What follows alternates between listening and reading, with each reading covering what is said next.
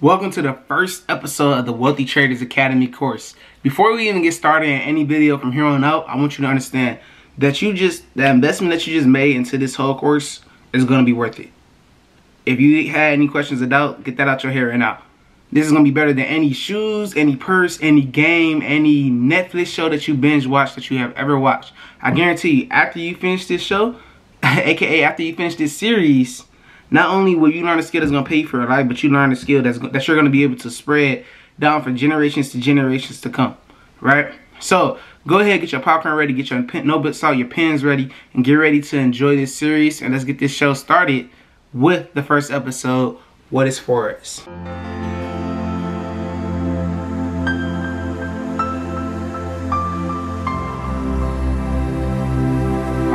So, what is Forex? What is the foreign exchange market? And what is the hype about it? If you have ever had any confusion about what Forex is, don't worry. It's over right after this. So, let's go ahead and get straight into it. Forex is actually short for the foreign exchange market. It's one of the largest financial markets, if not the uh, largest financial market in the world. Every day, there are currencies that are being traded. The dollar, the euro, the, uh, the Swiss franc, the Canadian dollar. Any major currency right? Uh, within like the eight major currency pairs there is, uh, any of those currencies are being traded constantly throughout the day. And there are people like you and me and many others that I was playing in the next episode that are trading within this market.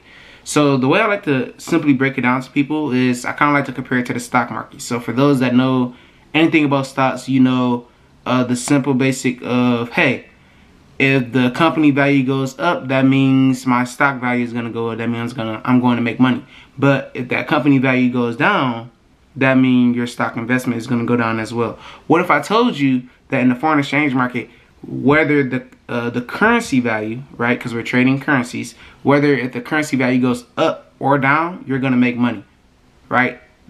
Once I understood that, once I realized, hey, if the currency value goes up, we're going to make money. And if the currency value is going to go down, we're going to make money. That's the only thing I need to know that lets me know why and why Forex will still remain one of the largest financial markets in the world. Because it doesn't matter if the value of the currency is doing great. It doesn't, it doesn't matter if the economy is doing great. Right? The economy could be doing bad. Like there could be some news that come out and says the economy is crashing. Oh my gosh, this. And there's a lot of people that's going to lose money.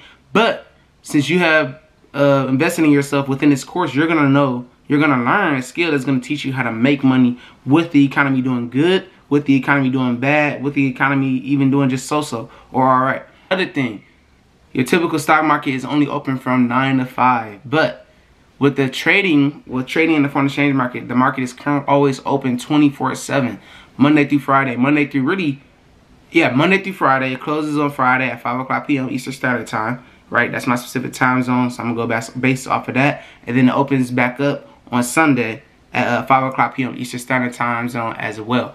But if you trade cryptocurrencies, which I actually might drop another course after this, after this course, I'm gonna drop another course after this where I'll be going over cryptocurrency as well, um, which will mean you could trade Monday through Sunday, seven days a week, and you can make money every single day if you choose to um, do that right? So that's the basic what Forex is.